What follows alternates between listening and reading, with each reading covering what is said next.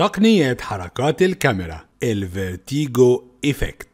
ال vertigo effect من المؤثرات التشويقية اللي بنستخدمها كتير في أفلام الرعب واللي ليها تأثير عاطفي قوي على المشاهدين. في كاميرا ال vertigo الكاميرا بتعمل zoom على هدف معين بس في نفس الوقت وهي بتعمل zoom بيبقى فيه تشويش للمنظور بيسحب المبنى نفسه وده بيخلي عقل المشاهد في حالة غريبة. الناس اللي بتتفرج بتبقى فاكرة نفسها بتقرب من الهدف بس الحاجة اللي في الخلفية بتبعد عننا.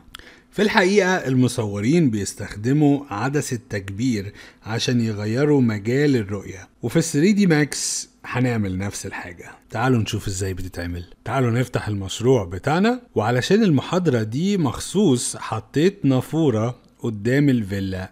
هنا. يلا نحط physical camera قدام المدخل هنا وال target هيكون عند الفيلا. هنروح للشاشة التانية وهندوس C وهنظبط أول frame عندنا. في أول frame عايز أبين فيه واجهة الفيلا كلها والنافورة. هنرجع بالكاميرا لورا شوية بس ما ينفعش أرجعها لورا قوي علشان عندي باب هنا. في الحالة دي بقى هنروح عند ال camera properties وهنقلل ال focal lens علشان تدينا view أوسع. برضو هنختار ال camera target وهنرفعه لفوق شوية من عند ال Z spinners اللي تحت دول. وبكده يبقى ظبطنا أول frame تمام. يلا بينا نعمل ال animation. أول حاجة هخلي ال timeline 300 frame هدوس control و alt و right click وهشده لحد ما يبقى 300 بالظبط. هنفتح ال auto key وهنروح ل frame 300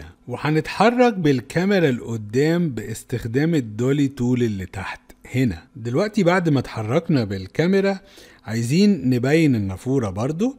هنستخدم الزرار الوسطاني في الماوس عشان نعمل pan وهننزل لتحت بالكاميرا شوية. ودلوقتي كده ال animation تقريبا جهز الخدعة هنا إننا هنغير ال focal lens. تعالوا نقلله شوية لحد لما نظبط اللقطة الأخيرة. هنخليه 20 وندوس enter بعد كده هنختار target الكاميرا ونرفعه لفوق شوية لحد لما تبقى عندنا لقطة أخيرة حلوة. ودلوقتي بقى عندنا كاميرا ال vertigo effect جاهزة. الكاميرا بتقرب من المبنى وفي نفس الوقت الخلفية بتبعد.